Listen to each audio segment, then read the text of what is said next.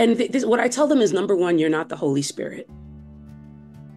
We are not called to work the miracle of transformation in people. That's the Holy Spirit's job. And the Holy Spirit's really good at their job. Um, the second thing I tell them is in discipleship, what we want to do is point people to Jesus, not us. And that usually takes a little bit of the pressure off because they're like, well, you know, I struggle with doubt myself. I'm kind of, I don't know if I believe all this yet, right? And I'm like, that's okay. You're not pointing them to, be a clone of you. We're pointing them to Jesus. We are all what is let us look to Jesus, the author and finisher of our faith. And so, number one, you're not the Holy Spirit. Number two, we're, we're not pointing people to culture, we're pointing them to Christ.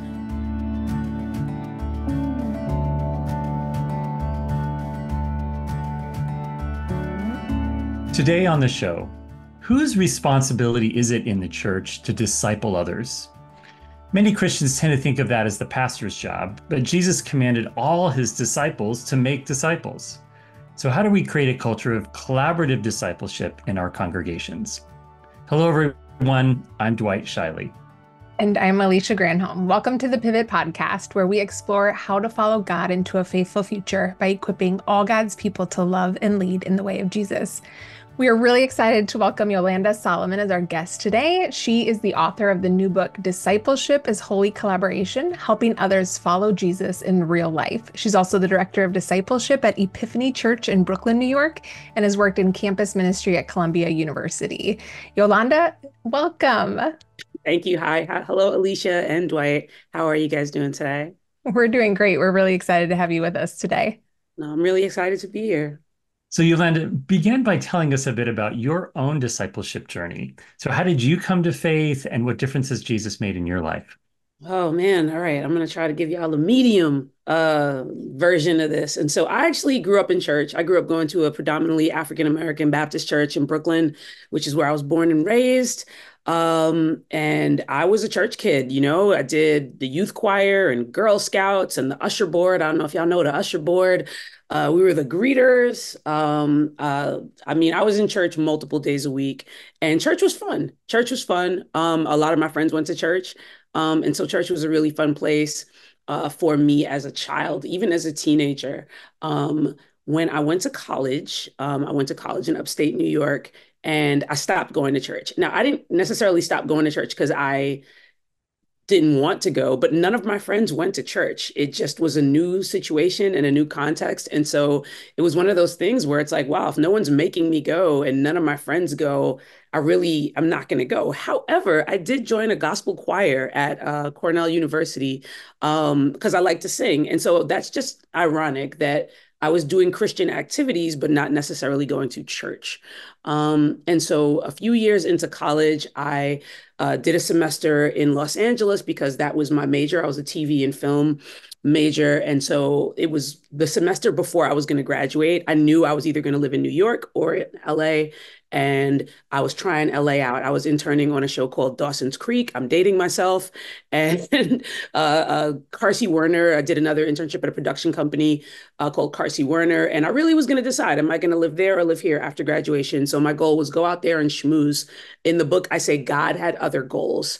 Um, a friend of ours, a friend of my family also lived out there, and she reached out to me when I got out there. She was a working actress, but we'd grown up in the same church, and she invited me to church. And I told her, no, thank you. Um, I wasn't really interested in going to church. However, she was a working actress, a pretty successful actress, also a dancer. We'd gone to the same performing arts high school back in New York City. And she, uh, how can I say? I think I say in the book, she discipled me without me knowing it. And what that means is, she, and I wouldn't have said this back then, but she, you know, so I didn't have a car, which you can do in New York City, but not so much in LA. So she would offer, oh, you need a car out here. Do you need a ride to get groceries? And um, I don't know if you guys are familiar with Los Angeles traffic, but it's horrible. And so I, in you know, looking back, I'm like, wow, that was the most Christ-like thing a person can do, um, offering to you know pick me up, drive me to the grocery store, bring me back, and then go back to her home, which was not close. Um, and and she she was like a grown woman. I was in college. She had a job. She had jobs, and so what what happened was I, I think I say in the book, discipleship is caught, not just taught.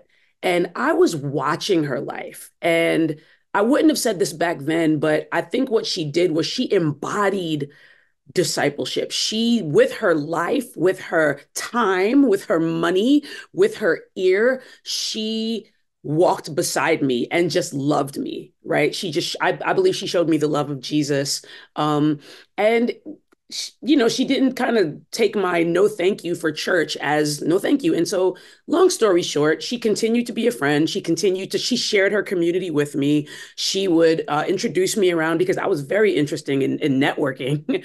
and so she would, um, introduce me to people in the industry and answer questions. And she always would say, if you ever want to go to church, doesn't matter where you are, you know where I live. I will leave a key to my house in a flower pot by the door. I don't know if you do that in New York, but out in her neighborhood, she lived in Beverly Hills, leave the key by the flower pot. And one night, um, and I talk about this in the book, I won't go into too much detail. I, I I came to her house and it was it was a rough night. It was a kind of a pivotal point in the semester, and uh, I had some decisions to make. And I remember thinking, out of all the people that I'm out here working with, working for, wanting to be like, wanting to schmooze with, she has the most joy out of all the people I know out here, whether she's working or not, which I found out that was a big deal for actresses. Or you, whether she was booked or not, she had joy. Um, you know, she never changed depending on whether she was driving me to get groceries or whether we were at the Soul Train Music Awards or at the House of Blues after party or at some, you know, industry event. She was the same person, and her name's Ariane Johnson. Um, and so Ariane left this open invitation. One late Saturday night, I stumbled into her house. And uh, I, I, remember when I woke up, I was very, very drunk. She said, You look awful. Let's go to the afternoon service. And we did. And we went to a church called Faithful Central Bible Church in Inglewood. Bishop Kenneth C. Ulmer was the pastor. And for the first time, I believe the word of God kind of penetrated my heart. Um, I go into detail in the book, um, but for the sake of the podcast, I really was forced to wrestle with the word of God for myself. And I made a decision that day, you know, to follow Jesus. Yolanda, thanks so much for sharing that story. I'm curious um, how your own journey has, you know, influenced how you understand and what you understand discipleship to be. Yeah. And so that journey, I mean, it, it what what what I what what I think is the most pivotal part is that she her life did so much talking without her saying a word. Now, yes, once I went to church with her, I had a million questions and she would answer them as best she could. Uh, I started, you know, catching a bus from the valley to Inglewood to go to Bible study. And, you know, she'd come and see me and ask how I was doing. But her life spoke volumes about what it meant to follow Jesus. She actually seemed to enjoy following Jesus. Like she had a, a real joy about it. And I think for me now, you know, fast forward 20 or so years, um, I'm really myself. Uh, as I work in ministry, I worked in campus ministry before I began working at our local church here in Brooklyn. Um, and I, I, I, I just try to be myself. I think early on in ministry, I tried to be like other pastors and preachers that I admired, and it was a mess. It was a train wreck. Um, very exhausting to try to be someone else. But I think over the years, particularly working with college students who are just very intuitive, you know, they haven't learned how to fake it yet. Um, they they enjoyed me being me, and they would say things like, "Yolanda, you seem like somebody that." Is like normal. Like you're not a weirdo. And I know they didn't mean any harm by that, but like you make God, you make following Jesus seem like something I can do because you just seem so regular. And so I think her just not giving me a discipleship script and not giving me a five point plan of how to follow Jesus, but literally just embodying, I think, the compassion and the love of Jesus and allowing me to see that. Um, but again, having that Bible ready if I had questions has definitely influenced how I, you know, try to make disciples. Yeah, thanks. I love that. Um, can you share a little bit with our listeners about what um, you know a little bit more about your ministry context uh, at epiphany and um, you know what what discipleship looks like there and maybe some challenges as well Oh yeah. Um, and so uh, the church that I uh, attend and I'm on staff at on the ministerial staff is predominantly millennial, Gen Z Christians. I would say predominantly, you know, you have black black people, African American, Latinos, um, Asian American. Um, that's the predominant demographic of the church, and they are very.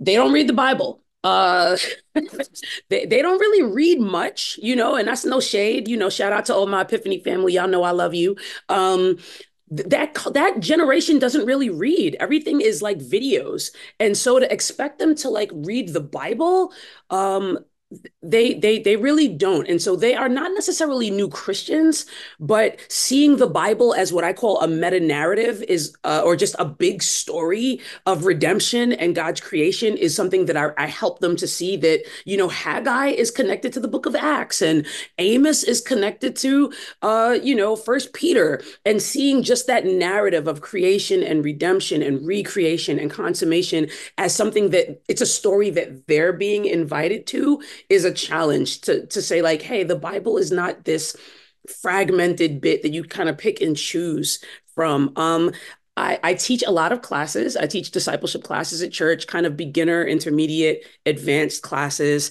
I do discipleship training. I train discipleship leaders so that our pastor and the pastors aren't the only people making disciples. Um, one of the challenges I face is disillusionment. Um, it is 2024. And I would say the past 10 years, I feel like every day has been sometimes feels like it's been picked out of the book of revelation right between the pandemic um, between you know uh, the cultural um how can i put it? Just just the craziness of political idolatry and the elections and the cosmic polarization in christians and in churches in new york city even.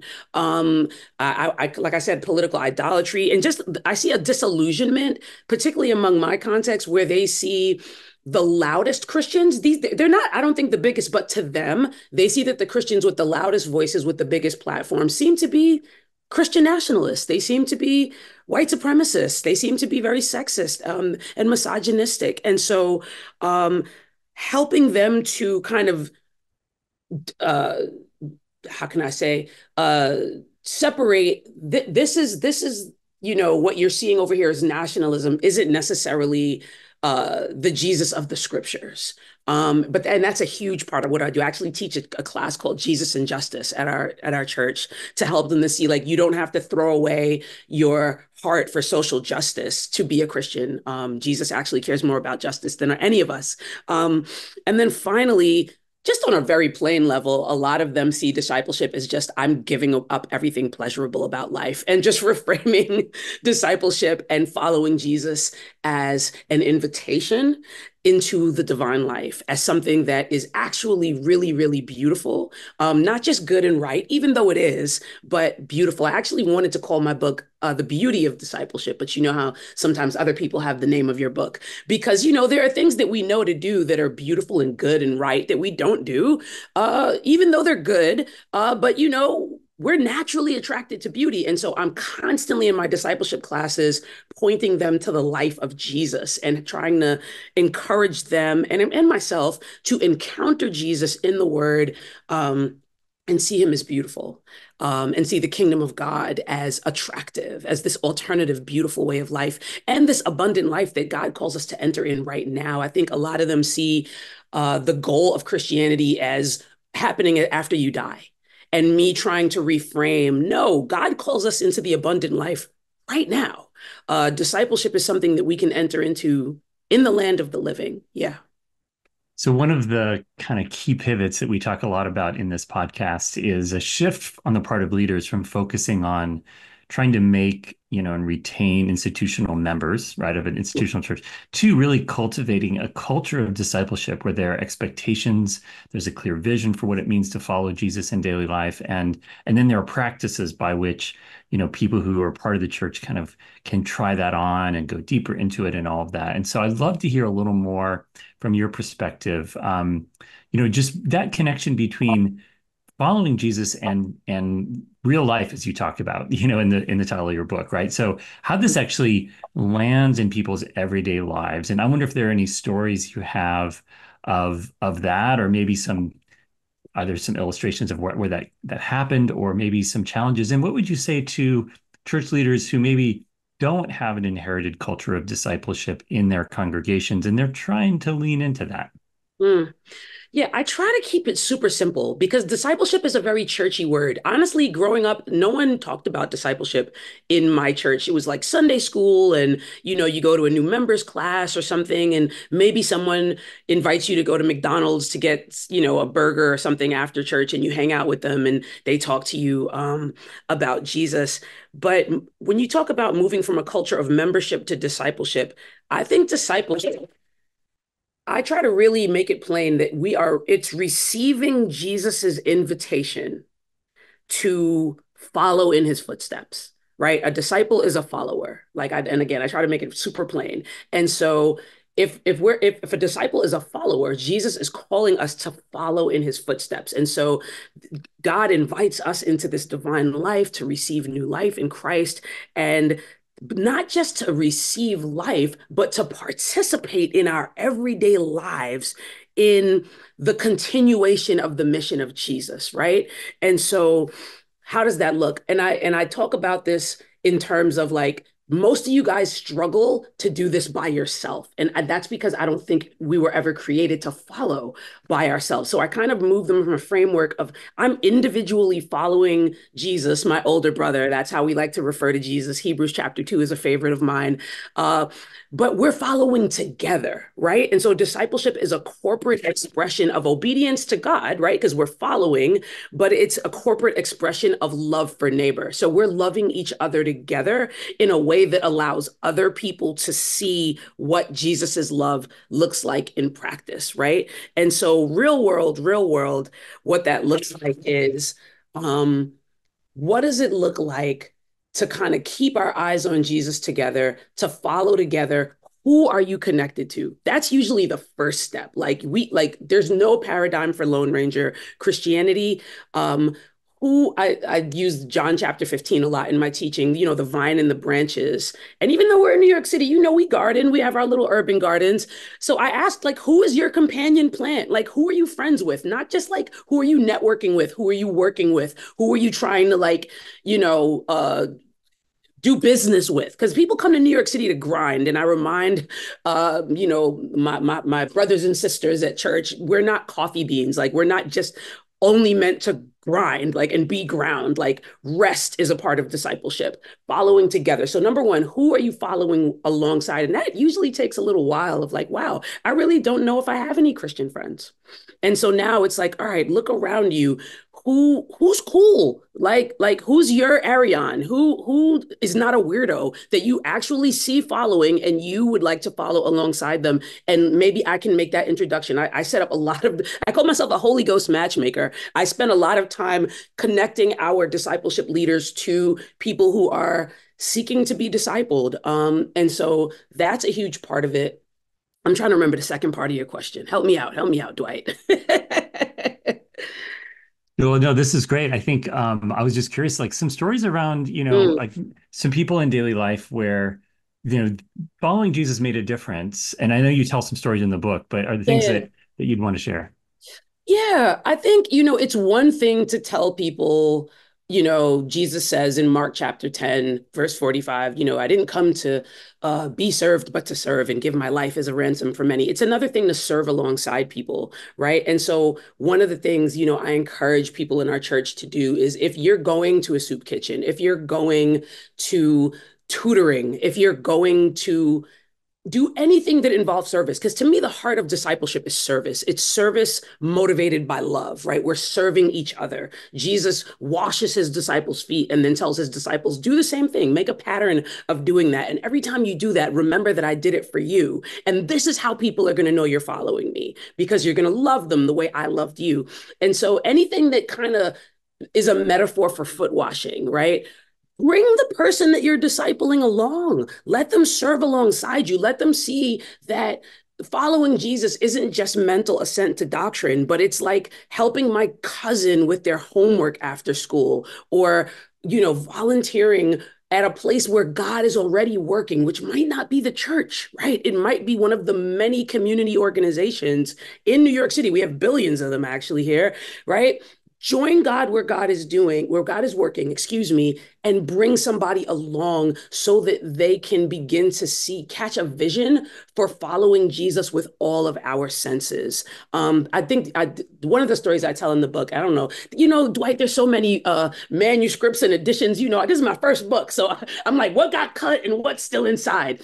But I think one of the stories that's still in there is um, one of the groups of people I like to encourage are young parents in our church. I have two children. And, you know, when you're a young parent, you're, you're going through it. It's rough. Um, and so I enjoy taking walks, prayer walks with young parents because they usually don't have time to sit in a coffee shop for two hours and just dissect the book of Romans, right? And they're they're sleepy. Um, and they're about ready to die. And so let's just go for a walk, especially while the weather is nice. And let's pray together as we walk and let's talk together. And I need the exercise, and you need somebody to talk to and pray with. And so those are you know, and particularly in a city like New York, where it's very pedestrian, pedestrian, you can do that sort of thing. Um, that's one of the practical things that I do. I'll just set up a 25 minute prayer walk with someone and we'll just go for a walk and talk and pray. And I invite our discipleship leaders to do that because a lot of them will say, Well, I don't have time, Yolanda. And I'm like, You don't, doesn't take much. You know, you some of the best discipleship comes giving somebody a ride home from somewhere or just walking to the subway station together. Um, or you're going this way, I'm going this way. Let's talk. Yeah. I love that. As a mom of of four and seven year old, I can relate. Oh, yeah. no. you know, I was thinking too about um I long ago. Uh, I was a youth pastor, and I was just reminded that um, one of the things that we would do is uh, so I was a youth pastor at a Lutheran church, so we had confirmation uh, for our middle schoolers, and um, we'd gather on Wednesday nights. And one of the things that, kind of to your point of of um, right, learning how to um, not you know, yes, love our neighbors practically uh, out of the outflow, right, of um, just our own relationship with God and Jesus, um, but also where uh, how do we how does God show up in in the real world, right, outside of the four walls of our of yeah. our church building? Um, so once a month we would either do a um, a service night, so their small groups would just go out and serve together or do like a fun night where they would yeah. just you know just kind of build that community element um, and the kids they would they preferred the service nights mm. over like the the just you know fun fellowship nights if you will and i think it's right there's that it's uh we don't want to serve out of the out of the what we get out of it but right? it's mutually beneficial. Um, maybe we should. That's maybe we should. Maybe we should. I think there's something, and and kids get it, but I think we get it too. In the book, I talk about the fact that Jesus is a great teacher and his his his pedagogical didactic, right? His teaching strategy is I do, we do, you do. And when you think about how most of us learn, and, and you see this with kids, like my oldest son, he is a kinesthetic learner. It's always hands-on. A lot of times people don't learn by imitation. You can learn by imitation, but that's not for everyone. And we see that in the scriptures. Jesus moves from doing things and having his disciples watch, which sometimes they catch things,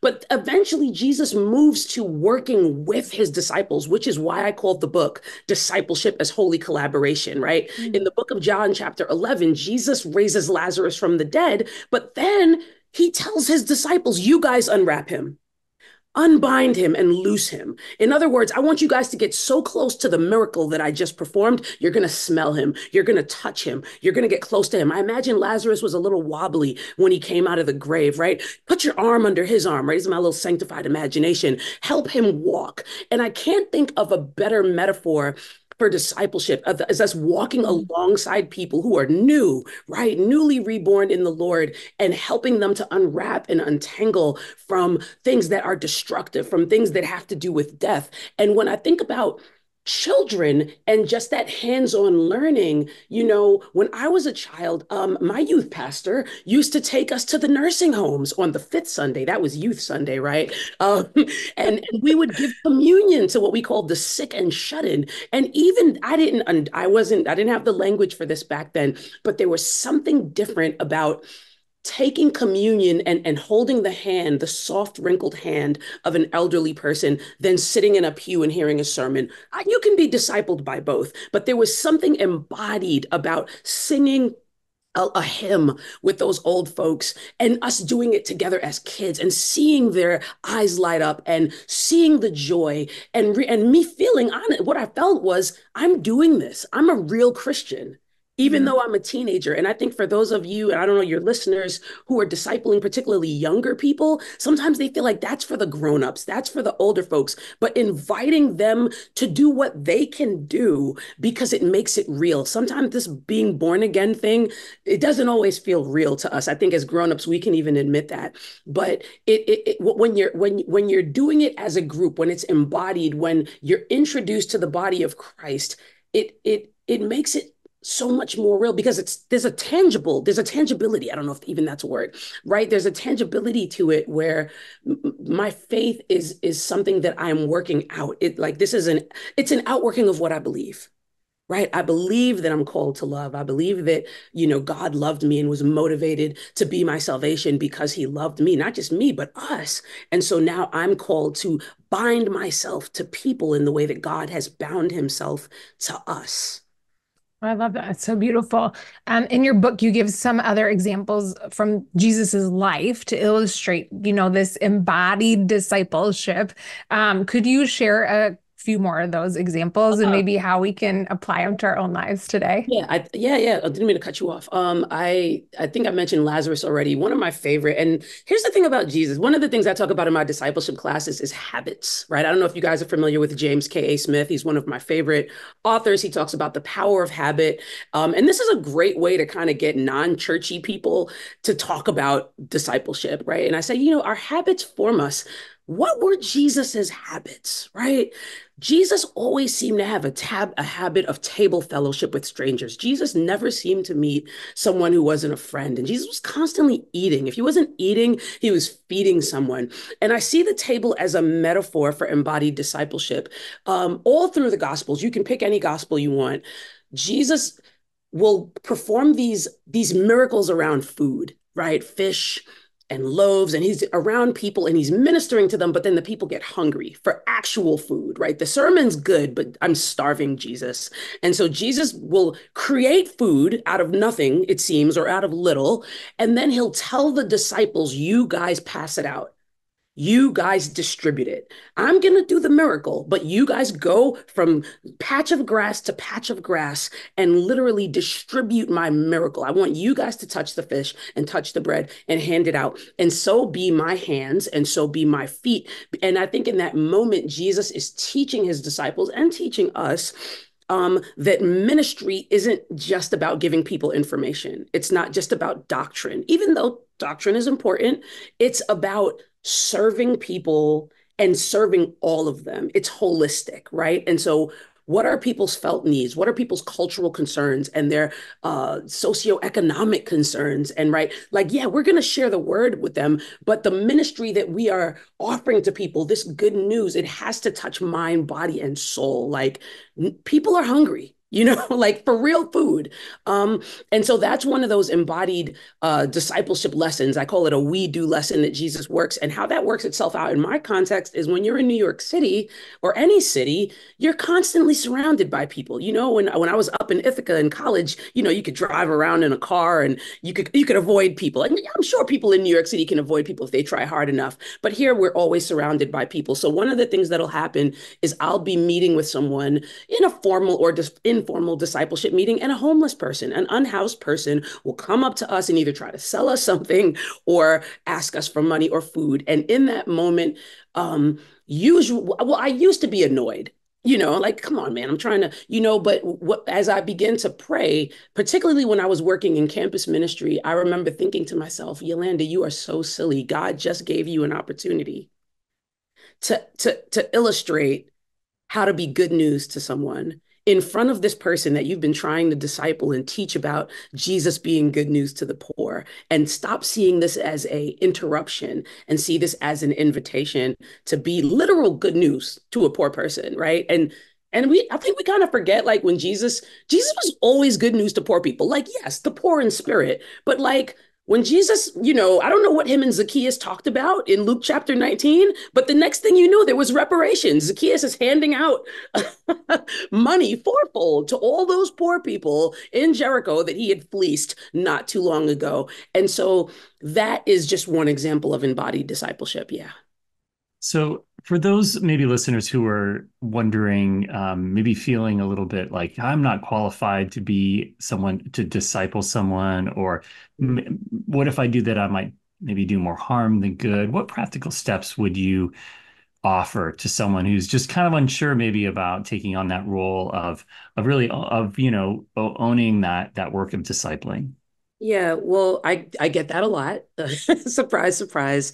Um, and it's usually the people who I believe would make the best disciplers. These are the quiet, humble, patient, kind people uh, who are like, no, no, pick someone who's a much better speaker or more charismatic. And I'm like, no, no, you.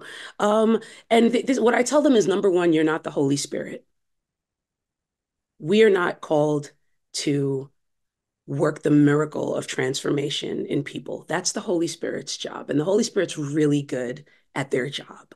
Um, the second thing I tell them is in discipleship, what we want to do is point people to Jesus, not us. And that usually takes a little bit of the pressure off because they're like, well, you know, I struggle with doubt myself. I'm kind of, I don't know if I believe all this yet, right? And I'm like, that's okay. You're not pointing them to, be a clone of you. We're pointing them to Jesus. We are all what is let us look to Jesus, the author and finisher of our faith. And so, number one, you're not the Holy Spirit. Number two, we're, we're not pointing people to culture, we're pointing them to Christ.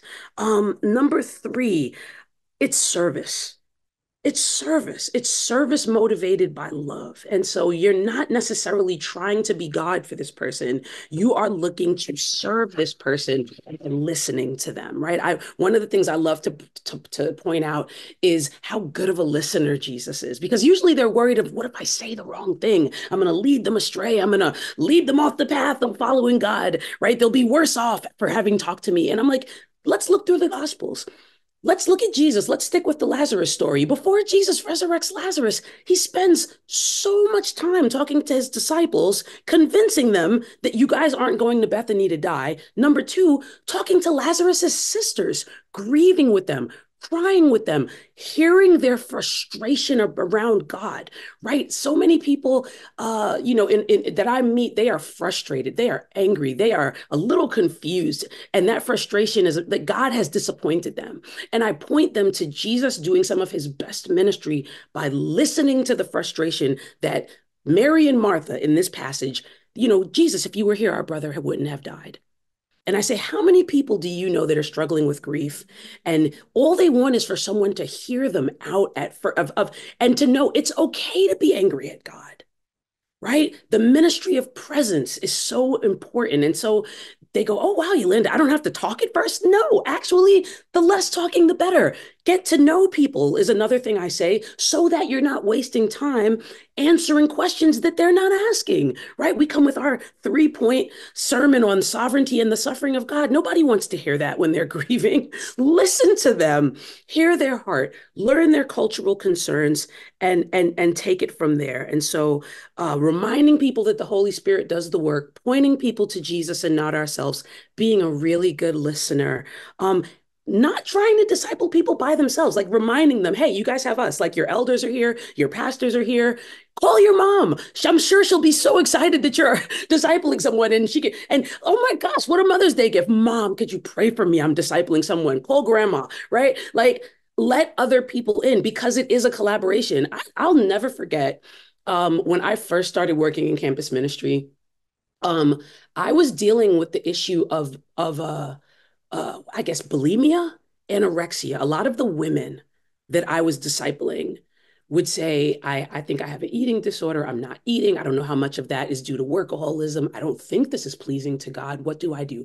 And to be quite honest, as an African American woman, where that's not necessarily the issue, I remember saying to myself, I really have no experience dealing with this. And but my friend, my ministry partner who came out of Texas and out of a context working with cheerleaders, she was like, "Oh yeah, Yolanda, I got I've got some resources for you. And so again, like not feeling like you have to have all the answers, not feeling like you have to, you know, I remember when I started teaching high school Sunday school and thinking I have to answer every question that these high schoolers have about God. The Bible says, you know, have always be be ye also ready, right? You know, uh you know, have an answer for, you know, when people ask you where your hope comes from. But I didn't have all the answers, you know, but then inviting other people in who were praying for an opportunity to embody their faith who would who were so happy to come alongside me and say oh yeah i'd love to pray for you or oh yeah i think i have something for these you know teenagers yeah that they could use so. Oh that's so beautiful. Um i love that imagery too right? I think i think a lot of us uh struggle with that you know those unrealistic expectations of how we're supposed to show up. If we're going to be disciple disciple making disciples um well let me get ready first you know? Yeah. let me prepare first. Let me do let all the things and let then me go to seminary. Let me take i'm ready right? Yeah. And i'm like you know seminary is great but honestly sometimes people just want somebody to listen to i i mean I, I try to like you might be the only person asking this person how are you and then listening and looking them in the eye and not looking at your phone while they're talking to you that they've experienced all week. And you might well i'm not jesus. You no none of us are. But you can embody the patience of jesus. You can embody the compassion of jesus you know? And so that's something that you know i'm regularly trying to encourage and invite people into yeah, and it and it's so doable, right? I mean, anybody can listen uh, when when we when we were intentional about it. Um, what would you say for maybe pastors who want to make a shift um, to really raising up disciples who are making disciples in their congregations or in their community and context what do you like what sorts yeah. of things might they need to start or stop doing from from your experience Oh, Alicia. Um, my advice for pastors might seem a little harsh. Uh, my my I, I have a whole chapter dedicated to, and that's because most of my friends are pastors and they complain a lot to me, and I'm a safe place. I wouldn't tell pastors to stop doing everything yourself.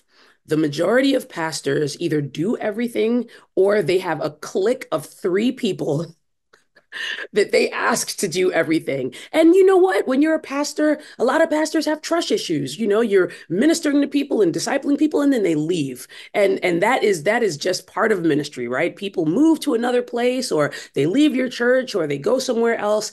And so you know, pastors can tend to put a wall up and say I'm going to trust these three people because they're loyal. But then those three people and the pastor are burnt out. In the book I talk about how people will come to church, they'll share the gospel with their neighbors neighbor, and then they'll come and introduce them to their pastor and say, All right, my job is done. And I say that's a great way to get your pastor to quit or start drinking, right? And so, because the pastor can't disciple everyone themselves. And so, the first step I have for pastors is you got to stop doing everything.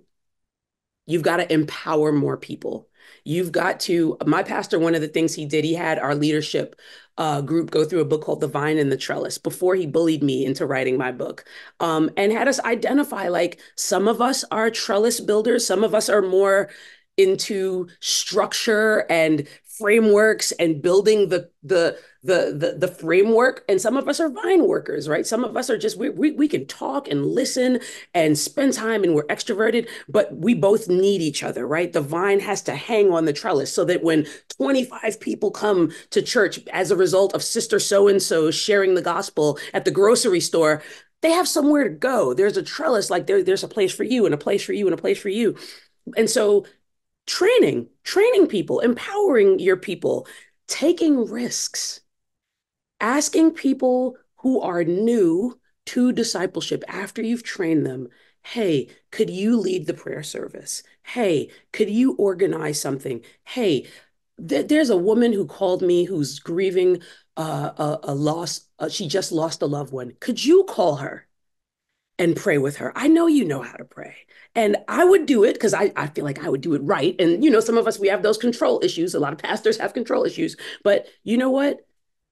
I, I, I could actually go take my kid to baseball practice if you call her, or I could take a nap that I need, or I could do some, or, or I, you know, or I could do something else. And so I keep it very simple for the pastors empower people, take risks, remember that you are not the holy spirit. This all doesn't you know I, one of the things we say at our church is this is god's church.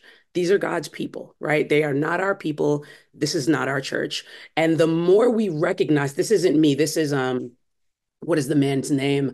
Howard A. Snyder. He wrote a book called The Community of the King. I love this book. He says the the more we recognize that we are the work of God, the easier it is to do the work of God. The more we recognize that we, not just me, but all of us are part of the interconnected, interdependent body of Christ, birthed by Jesus, the easier it is for us to let other people do the work because we're all connected to the vine. We're all connected. We're, if we're branches connected to the vine, we're we're all connected to the vine, but then we're all connected to each other, right? Yolanda, thank you so much for this wisdom. That sounds doable. You know, it doesn't sound too intimidating. Well, praise right? God. Which is gets us back to, I think, some of the beautiful simplicity of what we see in the Gospels and how Jesus did his ministry with people. And I think that's where the church needs to to to to turn in this in this moment. So thank you so much for for writing this book and for being with us on the Pivot podcast today. Well, thank you for having me. And honestly, the gospels is my that's my sweet spot i i stay there most of my discipleship classes are in the gospels because i really do believe that it's like, have you ever, you guys ever had a friend? Like you, you have a friend group, right? And then you meet a, a, person and you're like, oh my God, you would love my friends. And you're trying to bring a person into your already established friend group. And this doesn't always work out well, but sometimes it does. And that is how I see discipleship. Like we, we have been invited into this beautiful community of divinity, right? It's this Holy Ghost friend group, right, of the Trinity. And we want to invite other people into this friend group that we've been invited in and convince them, like, you're going to love them. You're going to love these guys, right? And so, yeah, I try to keep it simple, Dwight. Yeah. Amen. That's beautiful. Well, and to our audience, thank you so much for joining us today. And remember to check out Yolanda's new book, Discipleship as Holy Collaboration. To help spread the word about Pivot, Please like and subscribe if you're catching us on YouTube, or if you're listening, head to Apple Podcasts and leave a review. It really helps. Finally, the best compliment you can give us is to share Pivot with a friend.